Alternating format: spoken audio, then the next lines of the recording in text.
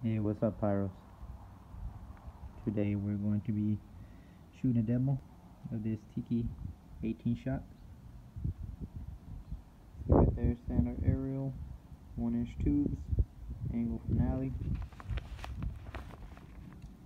effects, bright white, purple, green, red, neon yellow, sky blue, bangs, dandelion, rapid fire, strobe glitter, brocade crown, crackling, whistling, tail. so yeah, I'm gonna set this off and see what it does.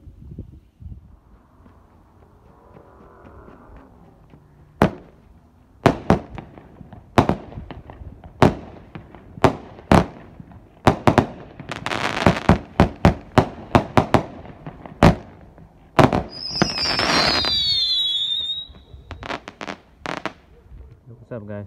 So we came back from the uh, ignition. Um, yeah, this is pretty bad cake. I like the uh, the rapid fire on this, the colors. Um, yeah, all in all, it was it, it was pretty pretty cool. So hope you guys liked it.